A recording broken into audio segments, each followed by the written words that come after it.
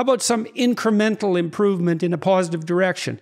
You know, you're, it seems to me that thinking gets sloppy and self congratulatory as we move towards statements like, the system is broken.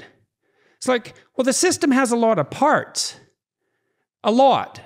And they're not all broken. You can tell that because you can plug your toaster in in the morning and, hey, you put some bread in, which you can also get, by the way, and then you have toast.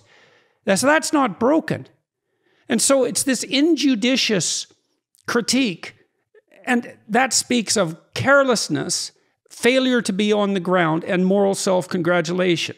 And it's extreme. And then also, interestingly enough, it also speaks to that leftist preoccupation in some sense with unearned privilege, right? Because the only time that you can get away with thinking that sloppy is if you're so protected from the consequences of your own failure to grasp the essentials of life that having that mistake doesn't actually cost you anything. You know, the people on CNN who are viewing the the Portland riots from afar, they're not having their house burned down, they're not getting beat up in the street. So it doesn't really matter that they have this low resolution view of it.